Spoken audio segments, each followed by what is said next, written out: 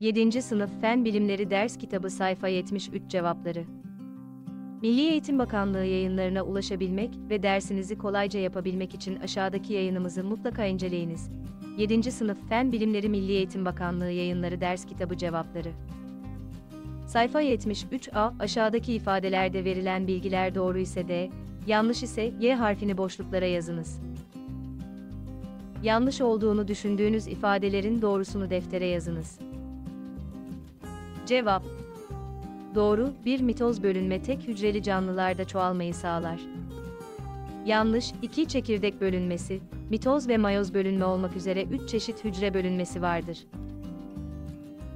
Doğru, 3 mitokondri, hücrenin enerji üretim merkezidir. Yanlış, 4 tüm canlılar mayoz bölünme sayesinde büyür ve gelişir. Doğru, 5 mitoz bölünme birbirini takip eden evreler sonucu gerçekleşir. Yanlış, 6 mayoz bölünme sonucu oluşan yumurta ve sperm hücreleri üreme ana hücresiyle aynı sayıda kromozoma sahip olur.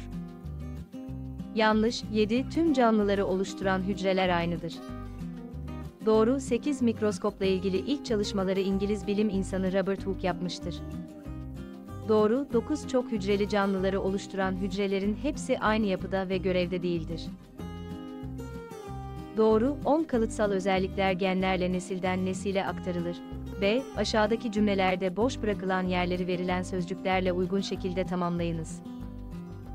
Cevap, 1. hücre bölünmesi, 2. mitoz, 3. mayoz bölünme, 4. 4, 5. parça değişimi, 6. çekirdektir, 7. organel, 8. mikroskop, 9. DNA, 10. koful. 1. Belli bir olgunluğa ulaşan hücrelerin bölünerek yeni hücreler oluşturmasına hücre bölünmesi denir. 2. Vücutta oluşan kırıkların bir süre sonra iyileşmesi mitoz bölünme sayesindedir. 3. Mayoz bölünme sadece eşeyli üreyen canlıların eşey ana hücrelerinde gerçekleşir. 4. Mayoz bölünme sonunda genetik yapısı birbirinden farklı toplam 4 hücre oluşur. 5. Mayoz bölünme sırasında gerçekleşen parça değişimi tür içinde çeşitliliği artırır.